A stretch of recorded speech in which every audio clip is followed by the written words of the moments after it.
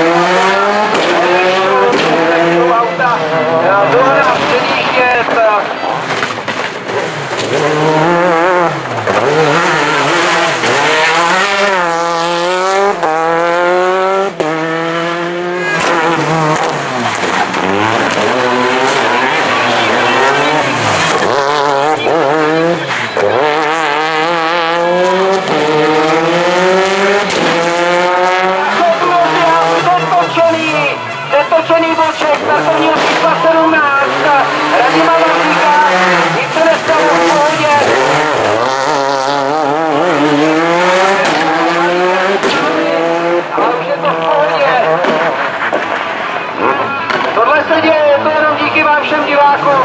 Ti borci jsou nadržení, se tady